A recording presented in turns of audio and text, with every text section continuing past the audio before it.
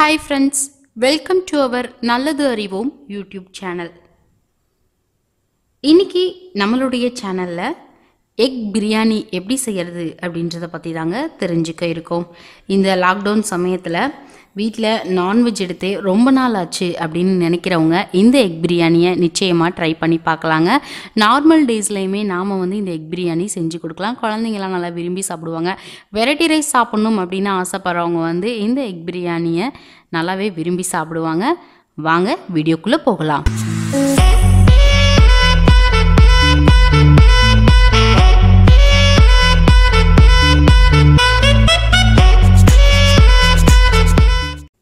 நீங்கள் எந்த ஒரு பிரியாணி செய்கிறதா இருந்தாலும் மட்டன் பிரியாணி சிக்கன் பிரியாணி எது செய்கிறதா இருந்தாலுமே நாம் எடுத்து வச்சிருக்கக்கூடிய பிரியாணி அரிசியை வந்து நெய்யில் நல்லா வறுத்து யூஸ் பண்ணலாங்க.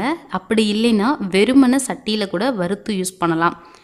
இப்படி யூஸ் பண்ணோம் அப்படின்னோம்னா இன்னும் கொஞ்சம் கூடுதல் சுவை இருக்குங்க. நாம் இன்றைக்கி நெய்யில் அரிசியை வறுத்துட்டு யூஸ் பண்ணலாம். ஒரு டீஸ்பூன் நெய் வந்து ஊற்றிக்கிறோம் ஏன்னா இதுக்கப்புறம் பிரியாணிலே நம்ம வந்து நெய் யூஸ் பண்ணுவோம். அதனால் அளவான நெய் மட்டும் இந்த அரிசிக்கு இருந்தால் போதும். இது கூட எடுத்து வச்சுருக்கக்கூடிய பிரியாணி அரிசியை சேர்த்து நல்லா வறுக்க ஆரம்பிக்கிறோம். கலர் மாறுற வரைக்கும்லாம் வறுக்க தேவை கிடையாது. லைட்டாக ஒரு ரெண்டு நிமிஷம் வறுத்தா போதும்.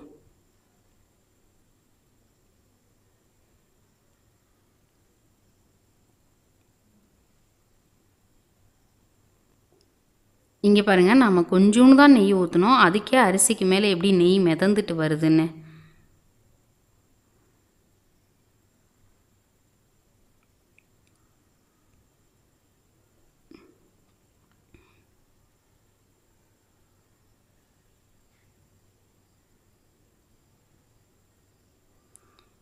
இப்போ அடுப்பை ஆஃப் பண்ணிடலாம் இந்த அரிசியை நாம் வேறொரு பாத்திரத்துக்கு மாற்றிடலாம்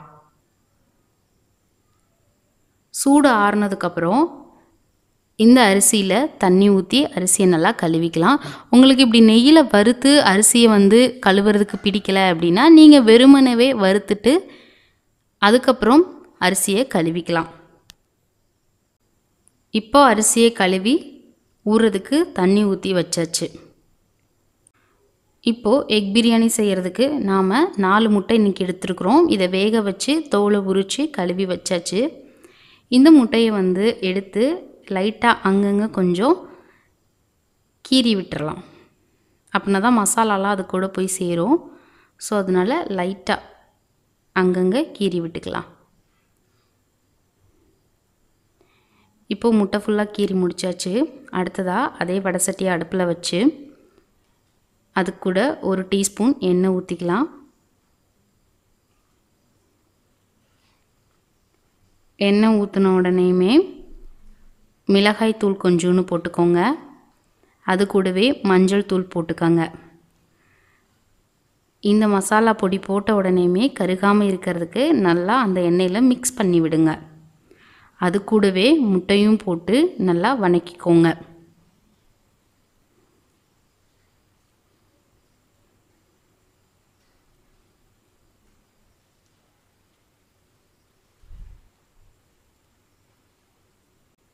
இப்போது முட்டையை நல்லா மசாலாவோட வ சேர்த்து வணக்கியாச்சு. இப்போ இதை தனியாக எடுத்து வச்சுக்கலாம். அடுத்ததாக பிரியாணி செய்கிறதுக்கு இப்போது குக்கர் வைக்கலாம் அடுப்பில். குக்கர் வச்சுட்டு தேவையான அளவு எண்ணெய் ஊற்றிக்கோங்க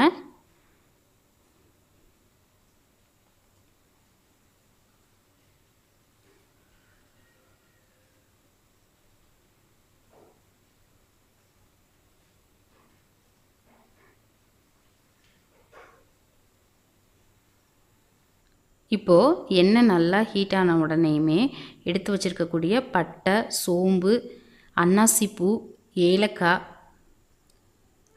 ரோஜாப்பூ இதழ்கள் லவங்கம் பிரியாணி இலை இது எல்லாத்தையும் எண்ணெயில் போட்டு பொரிக்கலாம்.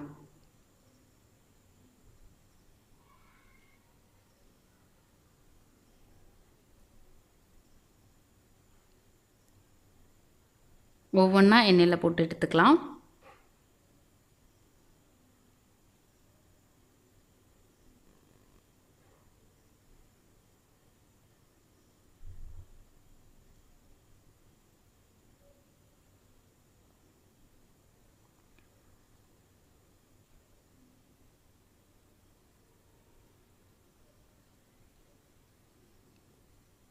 இதெல்லாம் புரிஞ்சு வச்சதுக்கப்புறம் பிரியாணி செய்கிறதுக்கு நான் ரெண்டு பச்சை மிளகாய் எடுத்து வச்சுருக்கிறேன். அதை நான் கீறி வச்சுருக்கிறேன். உங்களுக்கு காரம் அவ்வளோவா விருப்பம் இல்லை அப்படின்னா நீங்கள் கீராமையே போட்டுக்கலாம். அடுத்ததாக பெரிய வெங்காயம் மீடியம் சைஸில் ரெண்டு எடுத்து வச்சுருக்கிறேன். இந்த பெரிய வெங்காயம் நறுக்குனதை இது கூட சேர்த்து வணக்கலாம்.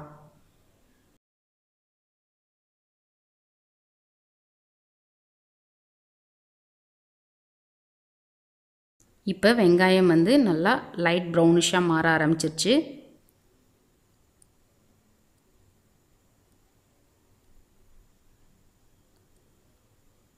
இது கூட நாம் இஞ்சி பூண்டு பேஸ்ட் சேர்த்துக்கலாம்.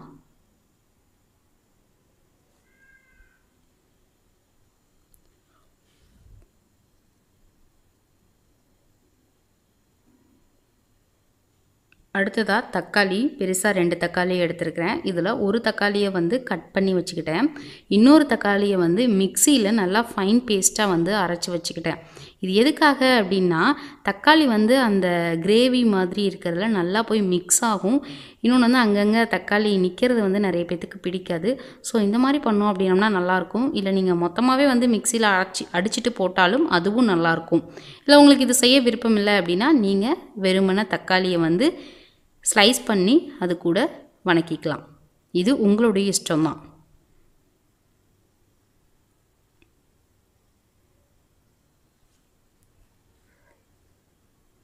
இதுக்கு தேவையான அளவு உப்பு சேர்த்துக்கிறேன்.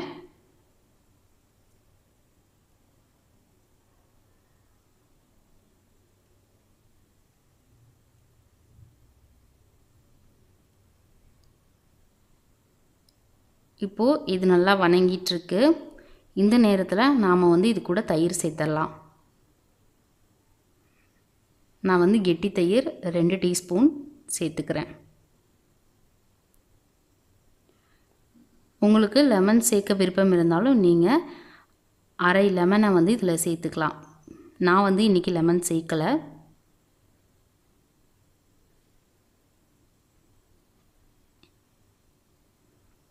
இது எல்லாம் நல்லா வணங்கிட்டுருக்கு.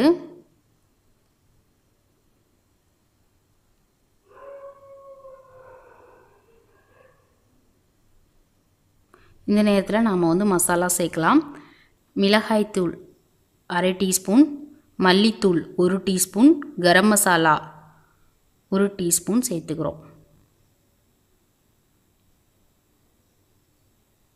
இது வந்து சம்மர் வெக்கேஷன் இல்லைங்களா? அதனால காரம் வந்து கொஞ்சம் கம்மியாகவே சேர்த்துக்கிறது நல்லது. நான் வந்து அதனால் காரம் வந்து கம்மியான அளவு தான் சேர்த்துருக்கேன் நீங்கள் வந்து காரம் நல்லா விருப்பப்பட்டு சாப்பிடுவீங்க அப்படின்னா உங்களுடைய டேஸ்ட்டுக்கு தகுந்த மாதிரி நீங்கள் காரத்தினுடைய அளவை கூட்டிக்கோங்க.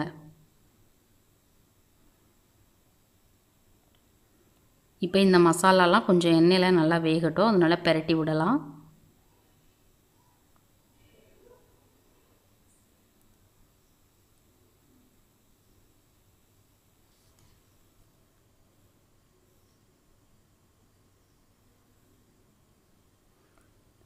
இப்போ நாம் எடுத்து வச்சுருக்கக்கூடிய கொத்தமல்லி புதினா இலைகளை வந்து சேர்க்கலாம். நான் வந்து இன்றைக்கி கொத்தமல்லி மட்டும்தான் சேர்த்துருக்கேன். ஏன்னா லாக்டவுன் பீரியடில் வந்து இங்கே கடை ஃபுல்லாகவே க்ளோஸ் ஸோ புதினா வந்து எனக்கு கிடைக்கல. அதனால நான் கொத்தமல்லி மட்டும் சேர்த்துருக்கிறேன். நீங்கள் புதினா இருந்தால் சேர்த்துக்கோங்க. இது எல்லாமே நல்லா வணங்கிட்டுருக்கு இப்போ இந்த ஸ்டேஜில் தான் நம்ம வந்து அரிசியை இது கூட சேர்க்கணும். நான் வந்து இந்த டம்ளரில் ரெண்டு டம்ளர் அளவு அரிசி எடுத்துருக்கிறேன். எப்போவுமே பிரியாணி அரிசி பார்த்தோம்னா ஒரு டம்ளர் எடுத்தோம்னா அதுக்கு வந்து ஒன்றரை டம்ளர் அளவு தான் தண்ணி ஊற்றணும் ஸோ நான் ரெண்டு டம்ளர் தண்ணி எடுத்துருக்கிறதுனால மூணு டம்ளர் தண்ணி ஊற்றுறேன் ஏற்கனவே அரிசி கழுவி வச்சிருந்த தண்ணியை வந்து கீழே ஊற்றிட்டு இப்போ இதுக்கு தேவையான அளவு தண்ணியை நான் இது கூடயே வந்து கலந்து வச்சுருக்கிறேன். இப்போ நாம் அரிசியை எடுத்து பிரியாணி மசாலா கூட சேர்க்கலாம்.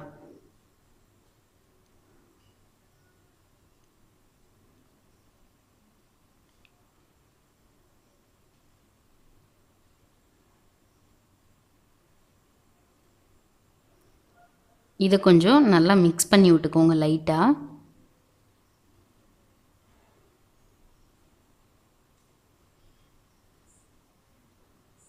மீதி இருக்கிற தண்ணியையும் இது கூடவே ஊற்றியாச்சு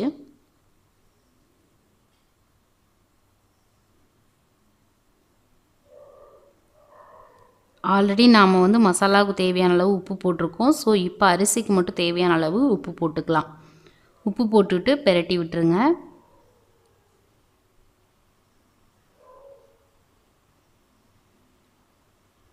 கொஞ்சம் நல்லா கலக்கி விட்டு வெயிட் பண்ணலாம். ஏன்னா இது ஒரு கொதி கொதிச்சதுக்கப்புறம் நாம் மூடி வச்சோம்னா நல்லாயிருக்கும். ஸோ மூடி போட்டு இதை மூடி வச்சிடலாம் ஒரு கொதி வர்ற வரைக்கும் ரெண்டு நிமிஷம் நாம் வெயிட் பண்ணலாம்.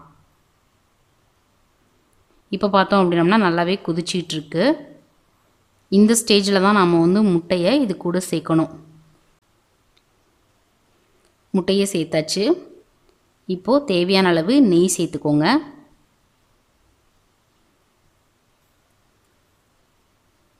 நெய் சேர்த்துட்டு புதினா எக்ஸ்ட்ராவே எடுத்து வச்சுருந்தீங்க அப்படின்னா இப்போ கூட இன்னும் கொஞ்சம் மேலே தூவிக்கலாம். தூவி விட்டு குக்கரை மூடி வச்சிடலாம் ரெண்டு விசில் வர்ற வரைக்கும் வெயிட் பண்ணலாம். கரெக்டாக ரெண்டாவது விசில் வர்றப்ப அடுப்பை ஆஃப் பண்ணிவிட்டு குக்கரை எடுத்து தனியாக வச்சிடலாம் கிளைமேட் வந்து இன்றைக்கி பார்த்தோம்னா ரொம்பவே சூப்பராக இருக்குது வெளியில் பயங்கரமாக காற்றடிச்சிட்ருக்கு இந்த ஸ்டேஜில் நாம் வந்து சூடாக ஒரு சுவையான பிரியாணி சாப்பிட போகிறோம் வாங்க விசில் வந்துருச்சு. இப்போ நாம் பிரியாணி ரெடியான்னு பார்க்கலாம். பார்த்தீங்களா கொஞ்சம் கூட குலையாமல் பிரியாணி எவ்வளோ நல்லா வந்திருக்குது அப்படின்னு இப்போ நாம் சாப்பிட்றதுக்கு எல்லாத்தையுமே ரெடியாக எடுத்து வச்சாச்சு. பாருங்கள் பிரியாணி குலையவே இல்லை. அதே மாதிரி அடி பிடிக்கவும் இல்லை. இப்போ நாம் சாப்பிடலாம்.